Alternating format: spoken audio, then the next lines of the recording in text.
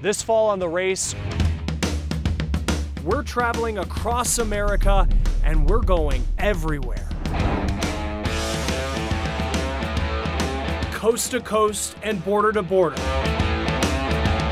We're talking to voters about the issues impacting their lives the most. That the person that's running really cares about the people. From immigration and healthcare Well, really equality for everyone. to jobs and gun control. What is the most important issue to you as an American farmer? I have the freedom to do what my great great grandpa did. Every Sunday, a different issue with real conversations about what's working and what's not. We've got too many politicians who are sold out. Giving our viewers better perspective on where each political party stands and doing it with a fresh, balanced approach. Giving them the information they need before the highly contested midterm elections. Join me, Chris Stewart, every Sunday this fall on The Race.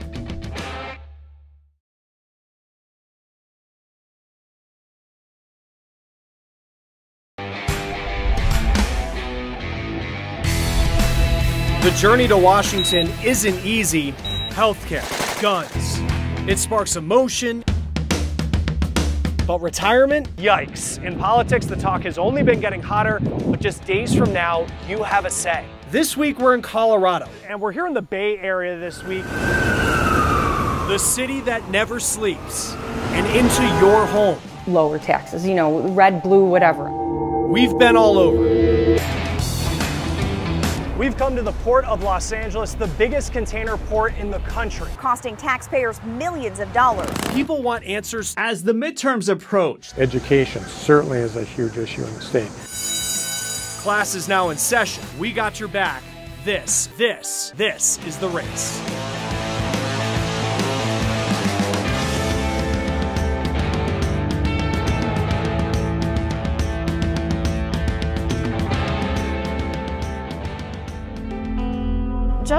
Look at Heather as an example of what can happen if one person takes a stand. Unfortunately, um, it took a white girl to die before white America and white world bothered to pay attention. We experienced the flooding in 2015, again in 2016, and 2017 in Harvey as well. Everyone around me was going down. Nobody can hurt me here. Over the years, he's been forced to look outside the U.S. But how does the asylum process work in the United States? To be granted asylum in the US, you have to be fleeing or afraid of some type of persecution linked to your political opinion, religion, nationality, or ethnicity. Just to be able to have a binational identity in a bicultural world where you have family a lot of times on both sides. We have to invest in infrastructure. Yes, 4 million new jobs. they are hiring. All across the country, There's going to be an end to federal prohibition at some point. It doesn't matter what side of the political aisle you're in. Because at the end of the day, it doesn't affect you. I love to hear that whistle blow.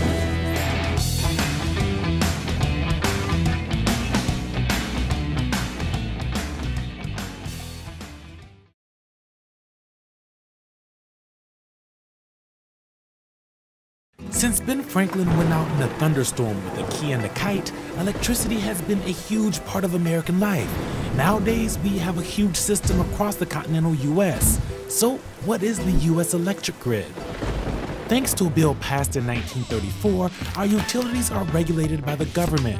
The feds wanted to make the system more connected and add safeguards from both the natural disasters and things like terrorist attacks. Our current grid is made of more than 160,000 miles of transmission lines, millions of miles of distribution lines, more than 7,000 power plants, and more than 55,000 substations. And all of the pieces that connect a power plant to you are broken into three different interconnections Eastern, Western, and Texas. Yeah, the state of Texas. There's a bunch of power transfers that happens within each of the interconnections. If one city needs a little bit of help because of a storm, they can get some help from another one within the interconnection. But for now, they are pretty self contained, and it's not easy to send energy from the eastern to the western interconnection. That could change soon. There's a plan to permanently tie and synchronize the three systems called the Tres Amigas Superstation. That connection should make the entire American grid more reliable and would make it easier to move to renewable energy. This midterm, Democrats are trying to regain control of Congress and Republicans are on defense. Whoever wins those races will likely have a big advantage to keeping their seat and their party in control for the next decade. On the state level, the party in power gets to draw legislative districts every 10 years. Oftentimes, they group people of the opposing party into the same few districts, and for themselves, they spread their voters out into multiple, much smaller districts. That's called gerrymandering. Because every district gets a representative, the party in power winds up with their people in control. So, why would we want gerrymandered districts? Well, because let's face it, life is messy and people don't live in perfect squares, and sometimes those odd shapes do help represent communities who may otherwise have been underrepresented. Right now, it's completely legal to gerrymander for partisan reasons, but the fight is growing both in the courts and in Congress to get rid of it.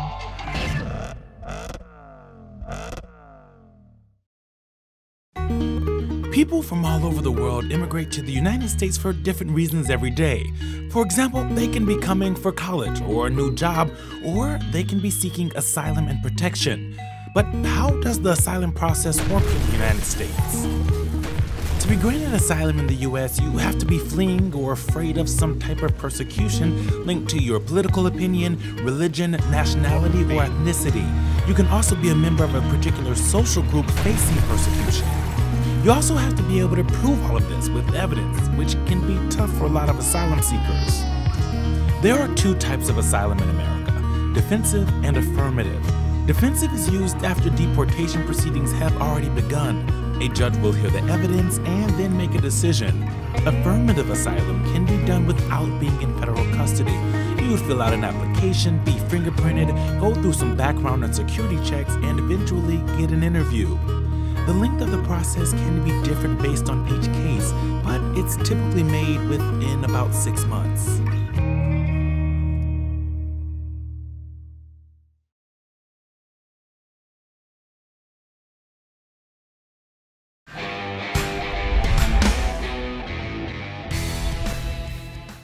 It's one of the most divisive issues in this country guns. It sparks emotion and passionate debate, from schools and security to its history and hunting. Should there be more restrictions or freedom? What role should firearms play in our lives? All very important questions. So we've come here to Las Vegas tomorrow, marking one year since the mass shooting. How has the worst mass shooting in U.S. history changed this community? A sensitive topic, and we're not here to take sides. Just give you the information you need to make an informed decision on election day. This is The Race. Welcome into The Race. I'm Chris Stewart, and we're here in Las Vegas, where tomorrow they'll be marking one year since the shooting that left 58 people dead and more than 800 people hurt. Behind me, right here, is a healing garden that's being put together to remember all the lives that were lost. And it's mass shootings like the one that happened here that really thrust the conversation about guns in this country into the spotlight. So during this show, we are going to be taking on what is a very complex issue. We're going across the country and taking a look at how firearms are impacting people's lives. But first, we do want to get started here in Las Vegas, talking to a woman who was at that country music festival last year. Her life changed forever by what happened and her journey to find peace. Most people come to Red Rock Canyon to admire it. And Raina Davis is no different. It teaches me. Her visits here are about more than experiencing its beauty. She's finding her peace. Nobody can hurt me here. Last year, Raina and her fiance Opie were celebrating his birthday at the Route 91 Harvest Music Festival in Las Vegas when she heard shots, then saw the unimaginable. Everyone around me was going down, and I wasn't. She miraculously escaped unharmed. I had bullet holes through the bill of my cap, through my purse. Um, I had bullet holes. I'm telling you, there's no human explanation as to how I'm here. Somebody was watching over me. But with feelings of gratitude came feelings of guilt that her fiance had to recover from a gunshot wound. He got shot saving my life.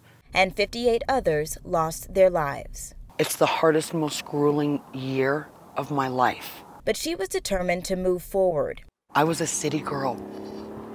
This is my new normal. Raina moved from Vegas to a small town and spends several days a week here. I feel like it's big enough for me to dump the stuff that hurts me here. She talks with her therapist, fiance, and other survivors about her experiences and gets out and helps others. Now, a year later, she's okay knowing some questions may never be answered. I don't know why they didn't make it, and I don't know why we did, but I'm not going to waste any more time trying to figure it out. It is what it is. We will never know why or his reasoning. We'll never know. Okay, you got to make peace with that. Using the beauty of nature. I feel like I'm in God's country here. To bring hope. And then you always find something to smile about. While healing. For the race, I'm Kumasi Aaron. All right, we've come along the strip here in Las Vegas, not far from where that shooting happened last year. And let's talk about gun laws here for a second. A big deal when it comes to who you vote for, not just in a local election, but you look all the way up to a federal election as well. And these are new numbers that we have from PolitiFact coming in March, asking people how they feel about gun laws in America. 67% saying they think gun laws need to be stronger in this country, only 4% saying that they need to be less strict. 28% of people saying they're good where things are right now. Well, Corey Rangel, he went to go talk to both Republicans and Democrats about not just where they stand on gun laws, but also issues of gun violence in America. Democrats and Republicans in Congress have still not found a meaningful way to stop gun violence, despite a list of ideas from both sides. Republicans can lead on a couple ways. They, they, they can talk about more investment in mental health funding. I think there's also a way to lead on it through getting more funds for school security. And I think the third thing is, you know, spending more money on social media because so many of these people are tipping themselves off. The point that Democrats are making is we know that there are a number of different ideas, whether it's background checks, waiting periods, being able to make sure that databases are talking to each other. Even with the range of proposals, little has actually been done at the federal level. The biggest piece of gun related legislation Congress passed this year is the Fix NICS bill, which improves reporting to the background check system. Both political parties try to seize political advantage, and they both do. Um, and there's not any, there doesn't seem to be any solutions that are, that are coming forward. And I think that that is one of the most frustrating things about this debate because kids are getting killed and something needs to happen. Frustrated with Congress, many states are taking the lead in gun legislation. 55 gun safety bills have been signed into law in 26 states since the deadly Parkland school shooting in February, including 14 states with Republican governors. I think what you're seeing uh, is more movement at the state level, where to some degree maybe there's a little bit more of a, a direct accountability loop in some ways, in your ability to you know put real pressure on your mayor, on your governor, on your you know state legislature. For the race, I'm Corey Rangel. And when the race continues here from Las Vegas, you are going to hear from a good guy with a gun, how he and his firearm stopped an active shooter before any lives were lost. Welcome back to the race here in Las Vegas. I'm Chris Stewart, and in the mass shooting that happened here last year, the gunman ended up taking his own life. Much different situation in Oklahoma earlier this year, where two men who were armed were in the right place at the right time and stopped a shooter when he opened fire inside a restaurant. Nicole Vowell talked to one of those men who say they were able to stop this shooter before this situation got worse. I'm gonna turn left to get on the highway. I noticed a bunch of people running from the restaurant. I told my wife, I was like, something's wrong, that doesn't look right. What was supposed to be a Memorial Weekend getaway for Brian Whittle took him on a detour here to Louie's Bar and Grill in Oklahoma City, a detour that turned deadly.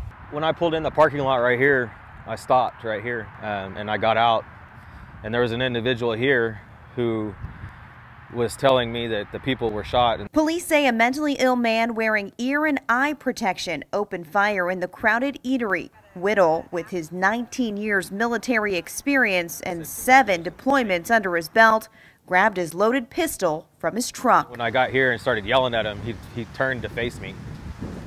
And so he, when he faced me, is when I was trying to get him to put it down and then waved my arm at him. And that's when he raised up to fire at me. Two shots swirled in his direction. He knew he had to stop the threat. When I got about right here, I saw him standing there. And as soon as I saw him, I just kept firing. Just pop, pop, pop, pop, pop, pop. A second armed civilian ran to help Whittle. The gunman was dead. In this situation, I didn't really, I didn't have really time to think. I just reacted. Under the self-defense statute, he was cleared of all criminal charges. The story earning him the title of Good Guy with a Gun, a story he wants others to hear. I don't think that there should be any uh, roadblocks that impede your Second Amendment. He says no one should tamper with the rights of an American citizen or take away anyone's ability to defend and protect. You'll end up in a situation similar to this and not be able to do anything but hide and cower behind a car. It's just like any other tool. If, if you have the right tool, you can fix anything. So I just happen to have the right tool for the right problem. For the race, I'm Nicole Vowell reporting. Now, the gun lobby, that can be a powerful force in politics. These numbers from PolitiFact illustrate direct contributions to candidates. You can see pro gun contributions far outpaced pro gun control in the last midterm. Then the pro gun spending went way up for the presidential race. Now, though, both sides are much closer in their contributions and the pro gun donations dropped significantly. Now, the one pro gun group that we do hear a lot about is the NRA. And there's a new poll that came out that talked to both gun owners and non gun owners that found something really interesting when it comes to the NRA. Here's Newsy's Eugene Daniels. You'd be hard pressed to find a topic more polarizing than the NRA and guns in America. You're either funding the killers or you are standing with the children. As trying to blame 5 million innocent um, um, law abiding gun owners all across the country There's for this? no blaming here. All no, there I'm have asking been, is for your there, position. All I I'm know, asking but is there has position. been. But how do everyday Americans who don't end up on cable news feel about the largest gun rights group in the country? Well, Newsy and the polling firm Ipsos went out and asked more than 2,000 gun owners and non gun owners about their thoughts, and some of the answers might surprise you. For instance, you might think that most NRA supporters would be gun owners themselves, but our poll found that's not really the case. 59% of respondents who support the group don't actually own any guns. A talking point on cable news and Twitter is that people who are anti NRA want to go around snatching guns out of everyone's hands. But our poll found the opposite. 60% of respondents who aren't fans of the NRA still think civilians should, quote, be allowed to purchase, operate, and carry handguns. And it's not just non gun owners or anti NRA folks that surprised us. 38% of gun owners surveyed think the NRA is stopping politicians from writing meaningful gun control laws, and 42% of that same group think we would have a safer country if there were stricter gun control laws. Gun control and gun rights advocates don't agree on much, at least not in large numbers. But our poll found there might be less disparity between the groups on certain aspects of the debate. Well, you don't have to have kids to get upset when you hear about school shootings. And when the race continues from Las Vegas, we're going to be taking a look at one school using some of the newest technology to keep its students safe. They say it's a small price to pay to potentially save a life.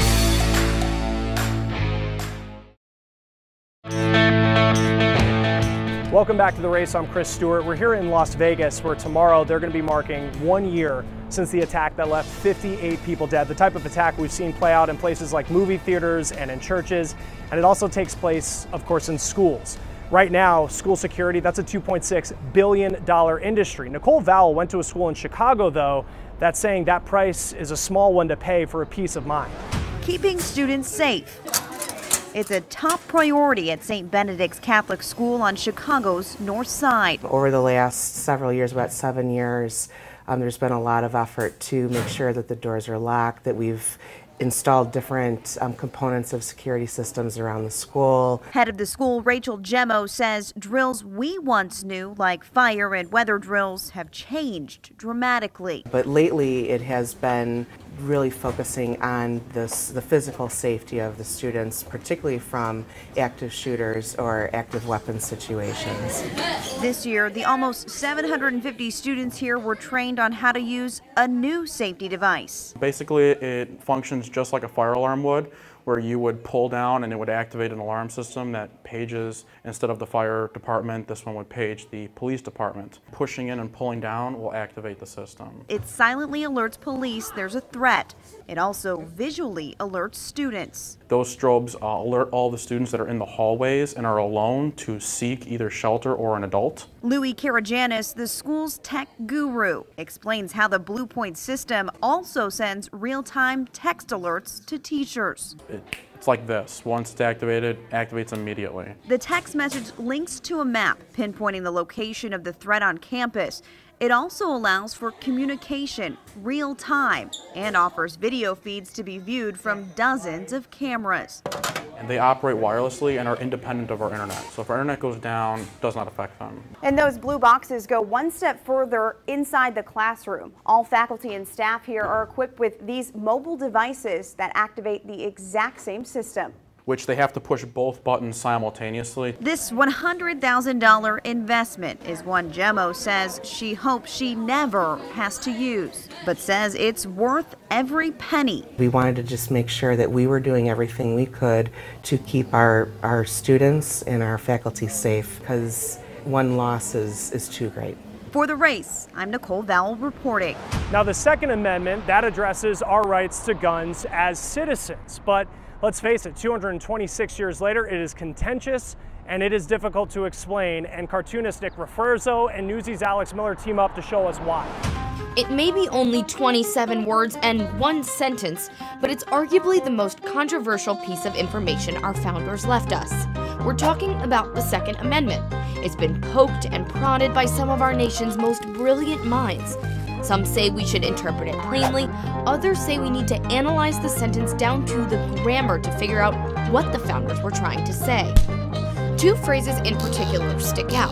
The first phrase, a well regulated militia, is where much of the disagreement with the amendment lies. Some say the word militia refers to the state's responsibility to have their people armed. Others say it means civilians should make up a militia if the government turns on its own people. Those who fall on the side of tighter gun control often also argue a militia is unnecessary in present day. Overall, they believe the Second Amendment should be interpreted to reflect present day. They believe the word arms in the phrase, the right of the people to keep and bear arms, has evolved. Automatic and semi automatic weapons did not exist during the writing of the Bill of Rights, and they say the interpretation of the amendment should reflect the changing times.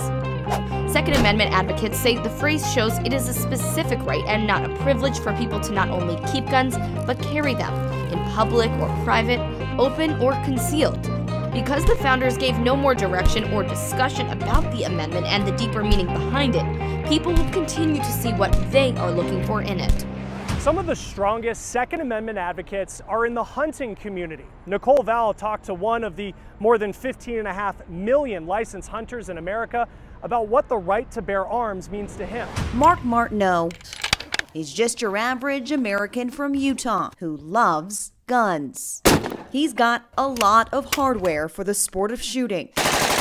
But what he enjoys most is going out with his friend John Hanson to hunt. These are just a few of the, the hunts we've been on. From big game hunting in Africa to deer or bears, you name it. You go out there, go hunt for your food, you know, feel like a man. Yeah, it's it's good time. And when it comes to the controversy surrounding the Second Amendment, if there's a law, you keep the law. If there's a rule, you keep the rule. There's no bending or breaking them. He doesn't deny that violence involving guns in America is a problem, but says one solution is to arm more responsible people. Who is the one that's saving the crowds when it does happen? Concealed weapon permits holders. And when it comes to gun control, Martineau agrees with one aspect, but still has his reservations. A mentally ill person should not own a firearm, but I guess it just all comes down to who is the person that is deeming them mentally ill. It all comes down to firearms education, he says. Learning and loving and respecting the firearm. You gotta you gotta teach your kids young to respect them. And trusting that the majority of gun owners in America, like him, are good. We're law abiding citizens and that's where we plan to stay. For the race, I'm Nicole Vowell reporting. Still to come here on the race from Las Vegas, a place that will be marking one year since the attack that left 58 people dead. We're going to show you the ways this community has already started to come together.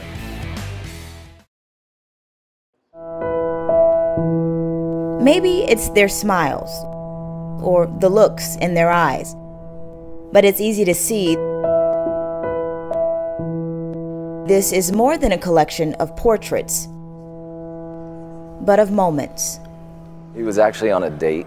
Joe Robbins' son Quinton's picture is front and center. He was going on a date with somebody that he didn't know because she didn't have a date for the dance. But if given a choice, he'd prefer not to see his son's picture or any of the others on display. It's heart wrenching to know that he is actually gone. And we can't just call him or text him, ask him how he's doing that day. Quinton was one of 58 people who lost their lives on October 1st, 2017, when a gunman fired into the crowd at a concert in Las Vegas. Every day is a struggle for myself, my wife, my kids, and those around us that loved him. Now, seeing his son smile here is bringing him a bit of peace. That's what we remember about him. Always smiling, always willing to have a good time, and always willing to share with others in those good times. It's part of the Portrait Project in Las Vegas, an exhibit of portraits of the 58 victims painted by artists from around the world for free. An artist in South Africa created Quinton's portrait. His family later found out they were distantly related. It's amazing what people are willing to do for you and you know out of their own comfort and their own help to just find peace. The two cousins who put this all together said their goal was to bring families comfort, and Joe says they've done that and much more. You know, that was one of the goals of the Las Vegas Portraits Project, is to just prove that evil doesn't win. A bittersweet reminder. As a pitcher, he would have thought that he could have taken a better picture. Of incredible loss. Hopefully there's not another event that's needed for a portrait project like this. And love. For the race, I'm Kumasi Aaron. That'll do it for us this week here on The Race from Las Vegas, where tomorrow they're marking one year since the attack that left 58 people dead. We do want you to join us next week here on The Race as we tackle another very complex, very sensitive issue here in America, and that is immigration. From the border wall to DACA to family separation, we're going to be digging into all of those things, so join us next week here on The Race.